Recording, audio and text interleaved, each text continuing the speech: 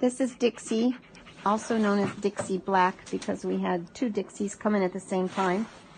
Dixie is about a year and a half old, is beautifully house trained, is current with all of her vaccines, spayed, microchipped, loves other dogs, loves humans, 45 pounds. She is the perfect dog, really. She's ready to go home, and all she needs is an adopter.